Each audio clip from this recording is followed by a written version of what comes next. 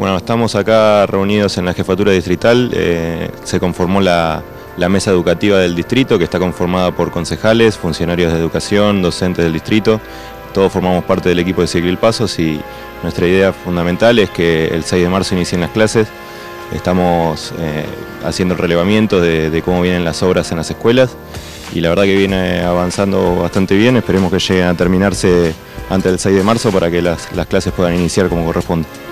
Muy bien, ¿cómo es tu nombre? ¿Qué tal? Yo soy Haroldo Villafranca, también soy concejal de Cambiemos de José C. Paz.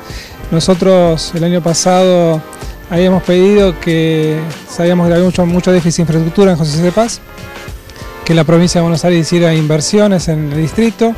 Eh, el año, este, para, este enero y febrero la provincia de Buenos Aires le mandó al Consejo Escolar 4.800.000 pesos para hacer las obras en las escuelas que tenían riesgo de inicio y además la provincia directamente está eh, invirtiendo 34 millones de pesos en ocho escuelas que está haciendo las obras directamente en la provincia.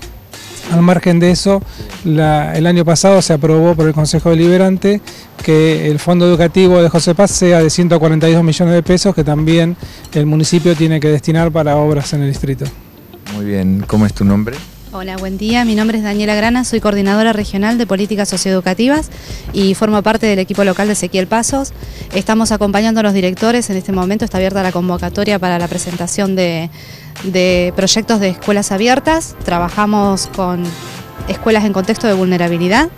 Estamos articulando también con el Estado en tu barrio, con el CABAG, el Centro de Asistencia a la Víctima y Acceso a la Justicia eh, nuestros programas básicamente son para, reforzar la trayectoria escolar de los chicos y invitamos a todos los directivos a que se animen a presentar proyectos para que José Cepaz cada vez tenga más escuelas con programas de política socioeducativa que tanto lo necesita y nos ponemos a disponibilidad. El año pasado tuvimos 17 escuelas con nuestros programas y la provincia hizo una inversión total de 3.400.000 pesos eh, para poder asistir a, a estas escuelas. ¿no? Eh, son programas donde pueden incluir arte, eh, reforzar matemáticas, lengua, música y las diferentes necesidades que va presentando la comunidad educativa en donde se encuentra la escuela para reforzar sobre todo aquellas carencias de actividades actividades de, recreación.